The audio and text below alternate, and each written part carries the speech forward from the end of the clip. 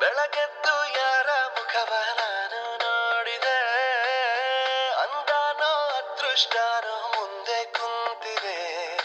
ನಿನ್ನ ಕಂಡ ಕನಸು ಬ್ಲಾಕ್ ಅಂಡ್ ವೈಟ್ ಎಂದು ಬಣ್ಣವಾಗಿದೆ. ನಿನ್ನ ಮೇಲೆ ಕವನ ಬರೆಯೋ ಗಮನ ಈಗ ತಾನೇ ಮೂಡಿದೆ. ಓ ಬನ್ನಿ ಸರ್. ಥೂ ಮುಂದೆ ಆಗಪ್ಪ ಬೆಳ ಬೆಳಗ್ಗೆನೆ ಬಂದ್ಬಿಡ್ತಾರೆ ಭಿಕ್ಷೆ ಬೇಡ್ಕೊಂಡು. ಇಲ್ಲ ಇವ್ರನ್ನ ನಾನೇ ಕರ್ಕೊಂಬಂದಿದ್ದು. ಇವ್ರಿಗೆ ಕಟ್ಟಿಂಗು ಶೇವಿಂಗು ಮತ್ತು ಫೇಶಿಯಲ್ ಮಾಡಬೇಕಿತ್ತು. ಇವ್ರಿಗ? ಹೌದು. ಏಕೆ ಏನಿಲ್ಲ ಸರ್ ಹಾಗೆ ಸುಮ್ಮನೆ ಕೇಳಿದೆ. ನೀವು ಬನ್ನಿ ಕೂತ್ಕೊಳ್ಳಿ.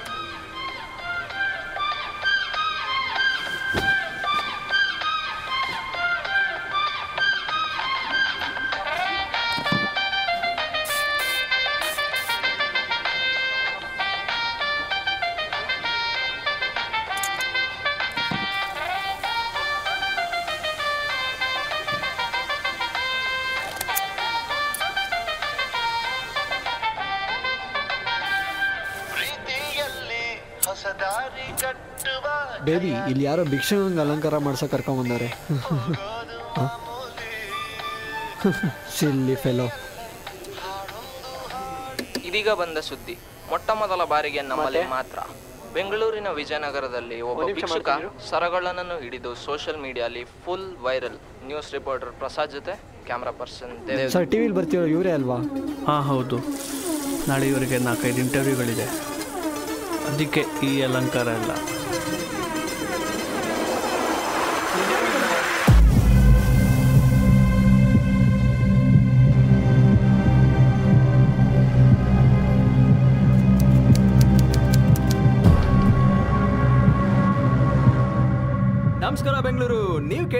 ನಮ್ ರೇಡಿಯೋ ಸಿಕ್ಕಾಪಟ್ಟೆ ಕಿಕ್ಕುಗುರು. ನಾನ್ ನಿಮ್ಮ ಆರ್ಜೆ ಶಿರೀಶ ನಿಮ್ಮೆಲ್ಲರಿಗೂ ಶುಭ ಸಂಜೆ ತಿಳಿಸ್ತಾ ಇವತ್ತಿನ ಕಾರ್ಯಕ್ರಮ ಶುರು ಮಾಡೋಣ.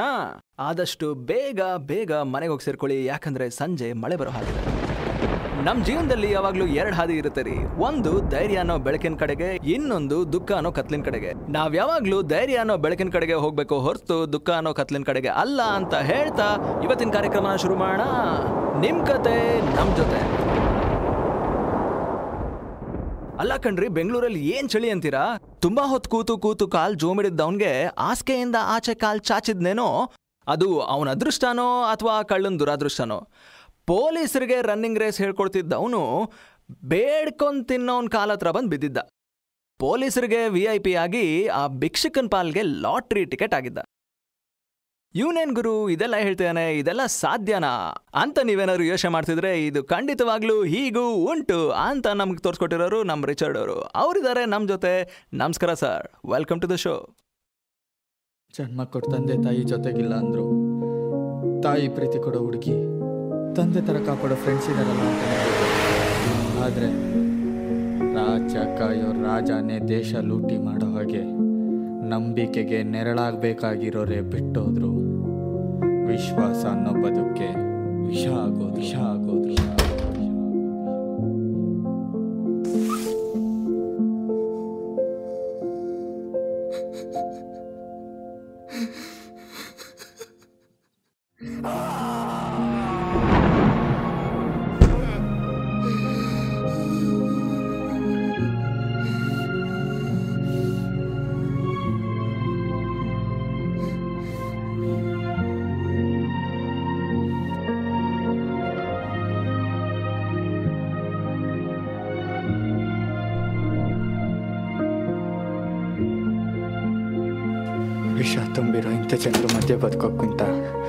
ಸಾಯೋದು ಎಷ್ಟು ಮೇಲು.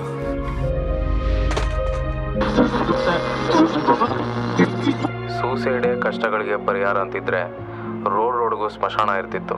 ಮನುಷ್ಯ ಅಂತ ಹುಟ್ಟಿದ ಮೇಲೆ ಸುಖನ ಹೇಗೆ ಸ್ವೀಕರಿಸ್ತೇವೋ ಹಾಗೆ ಕಷ್ಟಗಳನ್ನು ಸ್ವೀಕರಿಸ್ಬೇಕು. ಯಾರು ಆತ್ಮಹತ್ಯೆ ಮಾಡ್ಕೊತಾರೋ ಅವ್ರ ನಿಜವಾದ ಹೇಳಿಗಳು ಸರ್. ನೀವು ನಿಮಗೋಸ್ಕರ ಬದುಕಬೇಕು ಇನ್ನೊಬ್ರಿಗೋಸ್ಕರ ಅಲ್ಲ. ಆಗಲೇ ನಿಮ್ಮ ಜೀವನಕ್ಕೂ ಜೀವಕ್ಕೂ ಒಂದು ಬೆಲೆ ಸಿಗೋದು. ವಾ ವಾ ವಾ ವೆಲ್ ಸೆಡ್ ಸರ್ ನೀವು ಈಗಾಗಲೇ ಕಳ್ಳನ್ ಹಿಡ್ಕೊಟ್ಟು ಭಿಕ್ಷಕ ಅಂತ ಸೋಷಿಯಲ್ ಮೀಡಿಯಾದಲ್ಲಿ ವೈರಲ್ ಆಗಿದ್ದೀರಾ? ಎಷ್ಟೋ ಕಡೆ ಇಂಟರ್ವ್ಯೂ ಕೂಡ ಕರೀತಾ ಇದ್ದಾರೆ ಹೇಗನ್ನಿಸ್ತಾ ಇದೆ? ತುಂಬ ಖುಷಿ ಆಗುತ್ತೆ ಸರ್. ಈ ಇಂಟರ್ವ್ಯೂಗಳನ್ನೆಲ್ಲ ಕೊಟ್ಟಾದ್ಮೇಲೆ ತುಂಬ ಜನ ಸಹಾಯಕ್ಕೆ ಬರ್ತಿದ್ದಾರೆ ಅವ್ರಿಗೆಲ್ಲ ನಾನು ತುಂಬ ಧನ್ಯವಾದ ಹೇಳ್ತೀನಿ. ನಾನು ಯಾವಾಗಲೂ ಚಿರಋಣಿ ಆಗಿರ್ತೀನಿ. ವೆರಿ ನೈಸ್ ನೀವು ಫಸ್ಟಲ್ಲಿ ಹೇಳಿದ ಲೈನ್ಗಳು ತುಂಬ ಅದ್ಭುತವಾಗಿ ಎಷ್ಟೋ ಜನಕ್ಕೆ ಇನ್ಸ್ಪಿರೇಷನ್ ಮಾಡೋದ್ರಲ್ಲಿ ಡೌಟೇ ಇಲ್ಲ. ಅಂದಹಾಗೆ ನಮ್ಮ ಲಿಸ್ನರ್ ಒಬ್ಬರು ಪ್ರಶ್ನೆ ಕೇಳಿದ್ದಾರೆ ಜೀವನದ ಬಗ್ಗೆ ಇಷ್ಟೊಂದೆಲ್ಲ ತಿಳ್ಕೊಂಡಿರೋರು ನೀವು ಭಿಕ್ಷಕ ಆಗಿದ್ದು ಹೇಗೆ? ನಾನು ಇದನ್ನೇ ಕೇಳಬೇಕು ಅಂದ್ಕೊಂಡಿದ್ದೆ ಸರ್. ನೀವು ಭಿಕ್ಷಕ ಆಗಿದ್ದು ಹೇಗೆ? ನಿಮ್ಮ ಜೀವನ ಮುಂಚೆ ಹೇಗಿತ್ತು?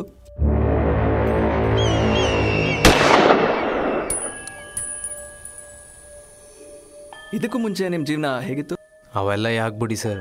ಸರ್ ನೀವು ಈಗಾಗಲೇ ತುಂಬ ಪಾಪ್ಯುಲರ್ ಆಗಿದ್ದೀರಾ ವೈರಲ್ ಆಗಿದ್ದೀರಾ. ನಿಮ್ಮ ಬಗ್ಗೆ ತಿಳ್ಕೊಳ್ಳೋಕ್ಕೆ ಜನ ತುಂಬ ಕಾತರದಿಂದ ಇರ್ತಾರೆ. ಏ ಅವೆಲ್ಲ ಬೇಡ ಸರ್. ನೀವು ಜನಕ್ಕೋಸ್ಕರ ಆದರೂ ಹೇಳಲೇಬೇಕು, sir. Come on.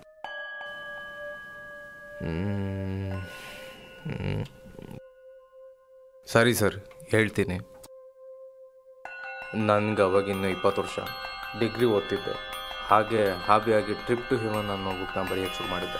Trip to haven ಏನಂದರೆ ನಮ್ಮ ಜನ ಎಷ್ಟು ವಿಚಿತ್ರ ಅಂದರೆ ಯಾವ್ದ್ಯಾವ್ದ್ರಲ್ಲಿ ಖುಷಿ ಪಡ್ತಾರೆ ಅಂತಲೇ ಹೇಳೋಕ್ಕಾಗಲ್ಲ. ಆದರೆ ನನಗನ್ಸಿರೋ ಕೆಲವು ವಿಷಯಗಳನ್ನು ಈ ಪುಸ್ತಕದಲ್ಲಿ ಬರೆದಿದ್ದೀನಿ. ದುಡ್ಡು ಮಾಡೋದ್ರಲ್ಲಿ, ದೇಶ ಸುತ್ತೋದ್ರಲ್ಲಿ, ಹಿಂಸೆ ಮಾಡೋದ್ರಲ್ಲಿ ಸೆಕ್ಸ್ ಅಚೀವಿಂಗ್ ಗೋಲ್ಸ್ ಅಡ್ವೆಂಚರ್ ಮತ್ತೊಬ್ಬರ ನಗುವಲ್ಲಿ, ಸಮಾಜ ಸೇವೆ ಮಾಡೋದ್ರಲ್ಲಿ. ಕೊನೆಯದಾಗಿ ಈ ಟಾಪಿಕ್ನ ಬರೆಯೋದಕ್ಕೆ ಎಷ್ಟೋ ಬುಕ್ಗಳನ್ನ ರೆಫರ್ ಮಾಡಿದೆ. ವಿಚಾರಗಳನ್ನ ತಿಳ್ಕೊಂಡೆ. ಆದರೆ ಅದು ನನ್ನ ಜೀವನದ ಮೇಲೆ ಅಷ್ಟು ದೊಡ್ಡ ಪರಿಣಾಮ ಬಿದ್ದು ನನ್ನ ಲೈಫ್ ಹಾಳಾಗುತ್ತೆ ಅಂತ ಗೊತ್ತಿರಲಿಲ್ಲ. ಆಗ ನನಗನ್ಸಿದ್ದು ನಾನು ಬರೆದಿರೋ nine chapters is equal to this one deadliest topic ಅದೇ. Drugs drugs drugs drugs drugs ಬಗ್ಗೆ ತಿಳ್ಕೊಳ್ಳೋದಕ್ಕೆ ಕೆಲವು ಅನುಭವಿಸ್ರು ಕೇಳೋಕೆ ಡ್ರಗ್ಸಾ ಹಂಗಂದ್ರೆ ಏನಣ್ಣ? ಯೋ ನಂಗೆ ಅದ್ರ ಬಗ್ಗೆ ಏನೂ ಗೊತ್ತಿಲ್ಲ. ಅದು ಹೇಳೋಕ್ಕಾಗ್ದಿರೋ ಅಂತ ಅನುಭವ ನೀನೇ ತಗೊಂಡು ಅನ್ಭವಿಸ್ಬಿಟ್ಟು ನೋಡಬೇಕು. ಆಗಲೇ ಅದ್ರ ಮಜಾ ಮತ್ತೆ ಅನುಭವ ನಿನಗೆ ಗೊತ್ತಾಗೋದು. ಹಾಗೆ ನಾನು ಡಿಸೈಡ್ ಮಾಡಿದೆ. ನಾನೇ ಡ್ರಗ್ಸ್ ತೊಗೊಂಡು ಅದರ ಅನುಭವನ ಪುಸ್ತಕದಲ್ಲಿ ಬರೆಯೋಣ ಅಂತ. ಡ್ರಗ್ಸ್ ಖರೀದಿ ಮಾಡೋಕ್ಕೆ ನನ್ನ ಫ್ರೆಂಡ್ ಕುಮಾರ್ ನನಗೆ ಸಹಾಯ ಮಾಡ್ದ. ಇಲ್ಲೇ ಬನ್ನಲ್ಲ. ನೀನು ಇಲ್ಲೇ ಇರು ಇಸ್ಕೊಂಡು ಬರ್ತೀನಿ. ಹಾಂ ಸರಿ. ಯಾರಿಗೆ? ಅಲ್ಲೇ ಕೂತವನಲ್ಲ. ಇವನ್ಗ? ಹ್ಞೂ ಚಿಕ್ಕ ಚಿಕ್ಕ ಮಕ್ಕಳೆಲ್ಲ ತಗೊಳಂಗಾಗೋದ್ರು. ಯಾರು ನೋಡ್ತಿಲ್ಲ ತಾನೆ? ಹ್ಞೂ ಹ್ಞೂ ಸರಿ ಬರಲಾ?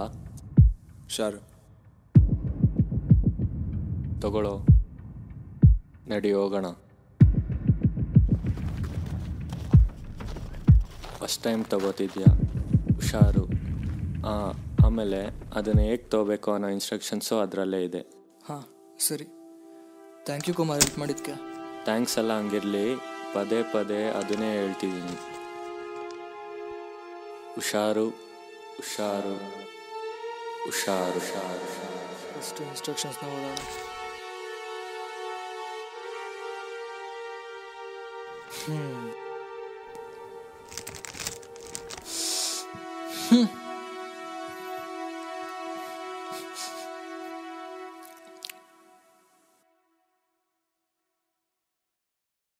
ಅಯ್ಯೋ ಏನು ಗುರು ಇದು ಈ ಥರ ಇದೆ? Take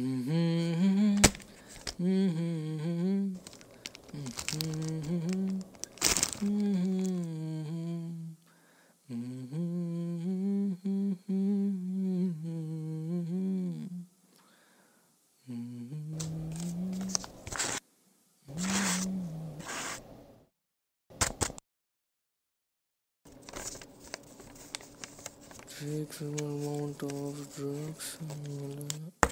Okay.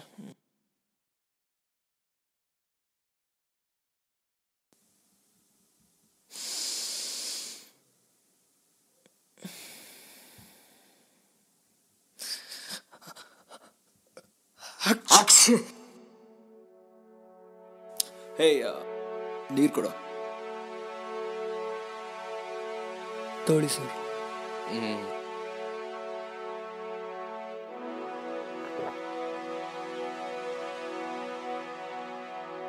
ಮುಂದೇನಾಯ್ತು ಸರ್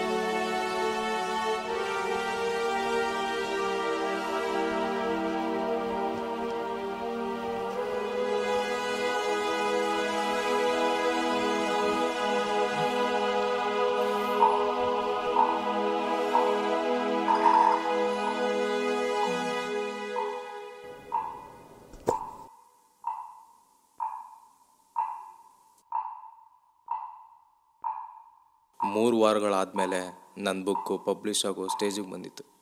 ಆದರೆ ಸಮಸ್ಯೆ ಅನ್ನೋದು ನನ್ನ ವೆಲ್ಕಮ್ ಮಾಡೋಕ್ಕೆ ರೆಡಿ ಆಗಿತ್ತು.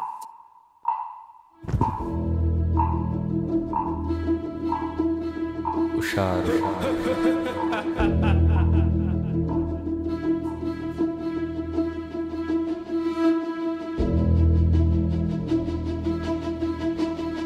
ಕಾರಣಾಂತರಗಳಿಂದ ಮನೆ ರೂಮ್ಗೆ ಶಿಫ್ಟ್ ಆಗಬೇಕು ಬಂತು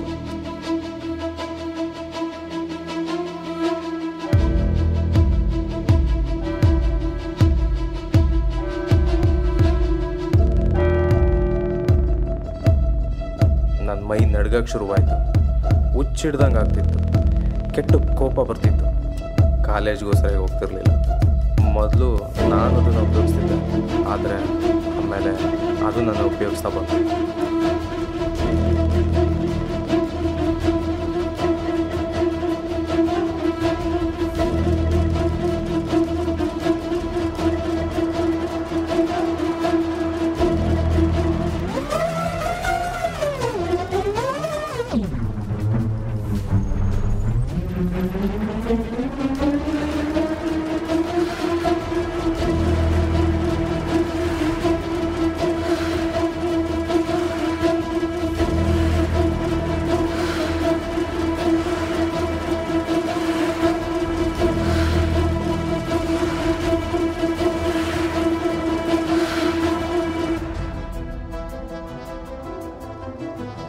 ಡ್ರಗ್ಸ್ ಚಟ ಜಾಸ್ತಿ ಆದ ಕಾರಣದಿಂದ ಅದನ್ನು ತೊಗೊಳಕ್ಕೆ ಹಣ ಇರ್ತಿರ್ಲಿಲ್ಲ.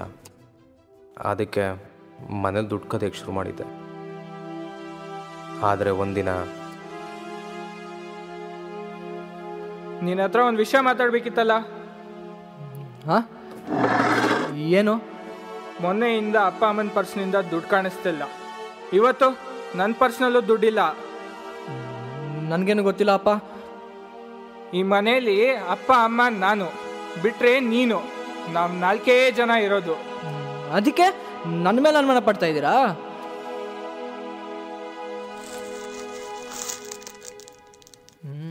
ಏನಿದು? ಏನಿವೆಲ್ಲ ಇನ್ನ ಎಲ್ಲೆಲ್ಲಿ ಬಚ್ಚಿಟ್ಟಿದ್ಯಾ?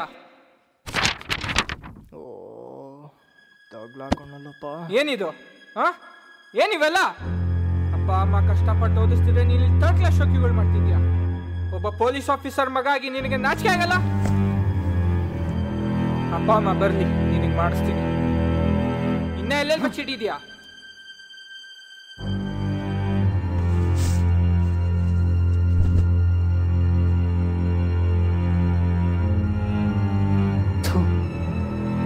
ನನ್ನ ಮಗ. ಬರೋದು ಗೊತ್ತಾಗಲ್ಲ, ಕೊಚ್ಚೋದು ಗೊತ್ತಾಗಲ್ಲ.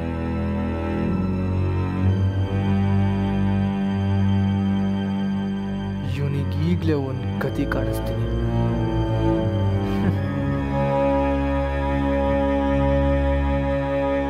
ಗಾಡ್ನ only me not my brother Peters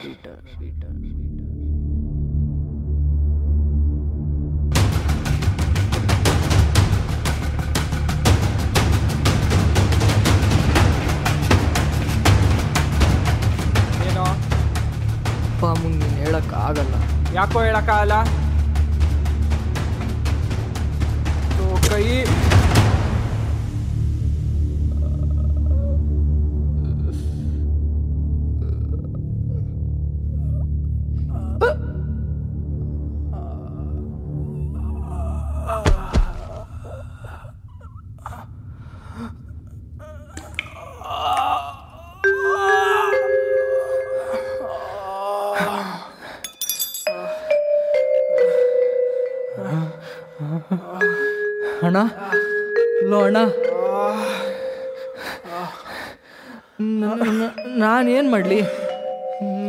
ನಾನೇನೋ ಅಲ್ಲಿ ಇಂಪಾರ್ಟೆಂಟ್ ಕೆಲಸ ಮಾಡಬೇಕಾದ್ರೆ ನೀನೇ ತಾನೇ ರಾಂಗ್ ಟೈಮ್ಗೆ ಎಂಟ್ರಿ ಕೊಟ್ಟಿದ್ದು ಹಾಂ ಈಗ ನೋಡು ನಿನ್ನ ಸಾವಿಗೆ ನೀನೇ ಕಾರಣ ಆಗೋದೆ. ನಾನು ಏನು ಮಾಡಲಿ? ಏನು ಗೊತ್ತಿಲ್ಲ. ಎಲ್ಲ ಎಲ್ಲ ಮುಗೀತು. ನನಗೆ ಏನು ಗೊತ್ತಿಲ್ಲ.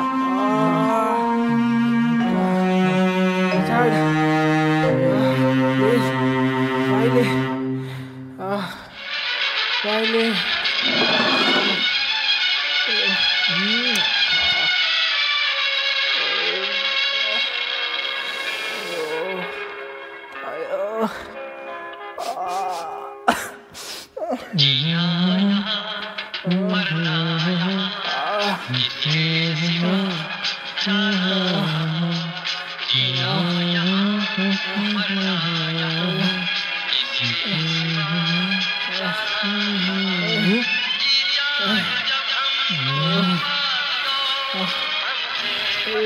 ಇಲ್ಲಿ ರಿಚರ್ಡ್ ರಿಚರ್ಡ್ ಅಯ್ಯೋ Richard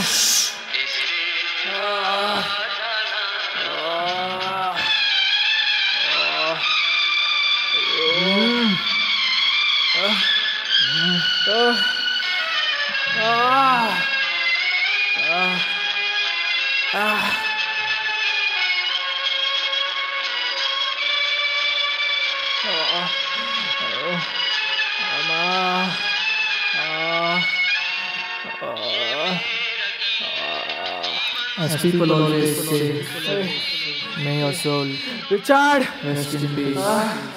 ಏ ರಿಚರ್ಡ್ ಏ ಯಾರಪ್ಪ ಅಲ್ಲಿ ಜನರೇಟರ್ ಆನ್ ಮಾಡ್ರು ಏನು ಸರ್ ಸ್ವಂತ ಅಣ್ಣನ್ನೇ ಸಾಯಿಸ್ಬಿಟ್ರಾ ಹೌದು ಸರ್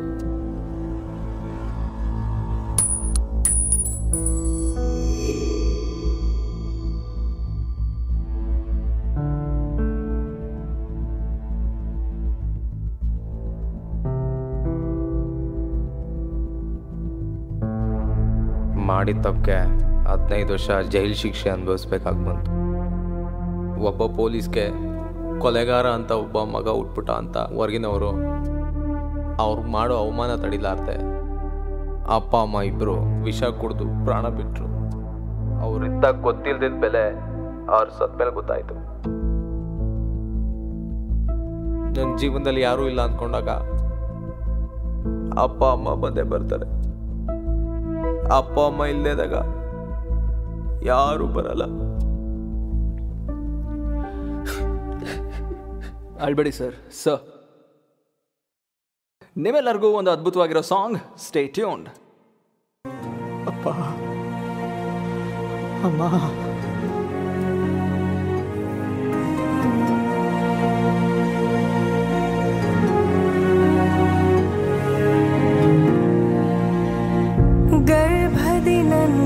see.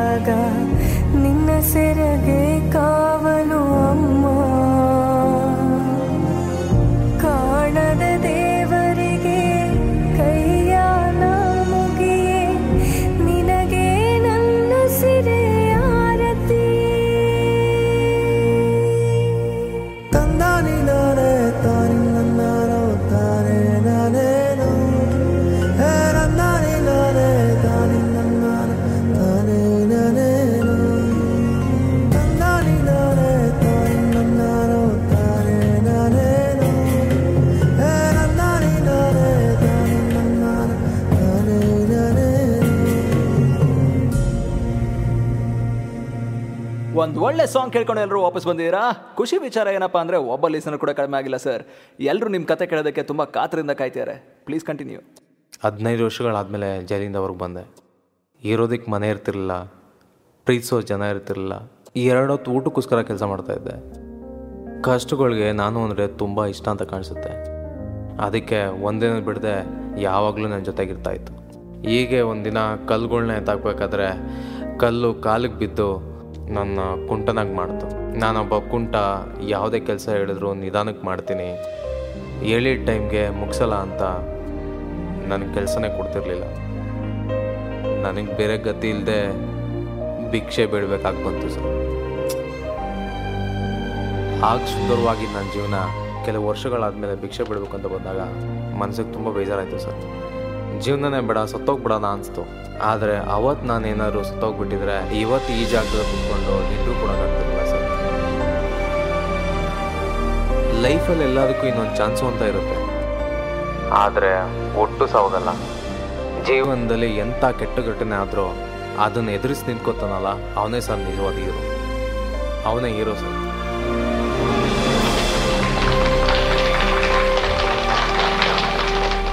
ಜೀವನದಲ್ಲಿ ಬರೋ ಅವಮಾನನೆಲ್ಲ ಬಹುಮಾನ ಅಂತ ಸ್ವೀಕರಿಸಿ ಮುಳ್ಳು ದಾರಿಗೆಲ್ಲ ಎಳ್ಳು ನೀರು ಬಿಡ್ತಾ ಕೆಟ್ಟ ಸಂಬಂಧಗಳಿಗೆ ಗುಡ್ ಬಾಯ್ ಅಂತ ಹೇಳ್ತಾ ಕಷ್ಟ ನೋವಿನಲ್ಲೂ ನಗುವಿನ ಮುಖ ಇಟ್ಕೊಂಡು, ಮಗುವಿನ ಮನಸ್ಸಿಟ್ಕೊಂಡು ತೊಂದರೆಲಿರೋರ್ನೆಲ್ಲ ಕಾಪಾಡ್ತಾ ಜೀವನದ ದಾರಿಯಲ್ಲಿ ಯಾರು ಸರಿಯಾಗಿ ಹೋಗ್ತಾರೋ ಅವರು ಮಾತ್ರ ಹೀರೋ ಆಗಿ ಉಳಿಯೋದಕ್ಕೆ ಸಾಧ್ಯ. ಅಂಥವರಲ್ಲಿ ಇವರು ಒಬ್ರು. ನಿಮ್ಮ ಜೀವನ ಖಂಡಿತವಾಗ್ಲೂ ಎಷ್ಟೋ ಜನಕ್ಕೆ ಇನ್ಸ್ಪಿರೇಷನ್ ಈ ಮಾತಲ್ಲಿ ಡೌಟೇ ಇಲ್ಲ. ಈ ಮಾತನ್ನ ಹೇಳ್ತಾ ನಮ್ಮ ಪ್ರೋಗ್ರಾಮ್ನ ಮುಗಿಸ್ತಾ ಇದ್ದೀವಿ ಇವತ್ತಿಗೆ. ನಾನು ನಿಮ್ಮ ಅಜಯ್ ಶಿರೀಷ ಸೈನಿಂಗ್ ಔಟ್ ನೀವು ಕೇಳ್ತಾ ಇದ್ದೀರಾ ನಮ್ಮ ರೇಡಿಯೋ ಸಿಕ್ಕಾಪಟ್ಟೆ ಗುರು good night love you all ಆ ಭಿಕ್ಷುಕನೇ ಜೀವನದಲ್ಲಿ ಅಷ್ಟೆಲ್ಲ ಕಷ್ಟ ಇಟ್ಕೊಂಡು ಧೈರ್ಯದಿಂದ ಎದೆ ತಟ್ಟು ನಿಂತಿರ್ಬೇಕಾದ್ರೆ, ಹಾಂ, ಇನ್ನು ನನ್ನ ಕಷ್ಟ ಯಾವ ಲೆಕ್ಕ? ಪಯಣದ ದೋಣಿಯಲ್ಲಿ ಯಾವುದೇ ಅಲೆಗೂ ಎದುರದೆ ಧೈರ್ಯವಾಗಿ ಮುನ್ನೋಗೋಣ ಲೋ ಜೀವ ನೀವು ಬದುಕಿರೋದಕ್ಕಿಂತ ಸಾಯೋದೇ ಎಷ್ಟು ಮೇಲ್ಕೊಳೋ ನನ್ನಂತವ್ ನಿನಗೆ ಸಿಗಬೇಕು ಅಂದರೆ ನೀನು ಒಂದು ಲೆವೆಲ್ಲಿಗೆ ಇರಬೇಕು.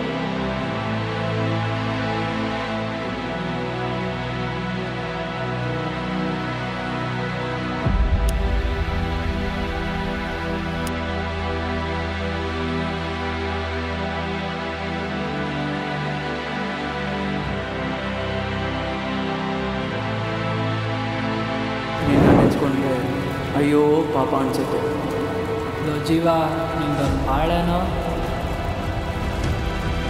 ಒಂದು ತನ್ನಕ್ಕೂ ಗತಿ ಇಲ್ದಿರೋ ಬಿಕಾರಿ ನೀನು.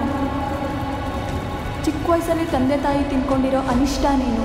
ಇನ್ನು ನನ್ನ ಕತೆ ಯಪ್ಪ ಮೊದಲು ತೊಳೆದು ಅವನ್ನೇನೋ ಕರೀತೀಯಾ? ದುಡ್ಡೇ ಬಿಚ್ಚಲ್ಲ ನನ್ನ ಮಗ. ಒಂದು ಅನ್ನಕ್ಕೂ ಗತಿ ಇರೋ ಹತ್ರ ಬಿರಿಯಾನಿ ತಿನ್ನೋ ಆಸೆ ಇಟ್ಕೊಂಡಲ್ಲ ತಪ್ಪು ನಂದೇ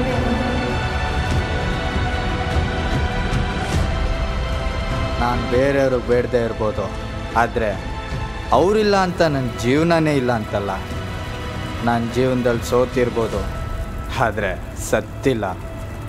ಇನ್ಮೇಲಿಂದ ನಾನು ಯಾರಿಗೋಸ್ಕರ ನನಗೋಸ್ಕರ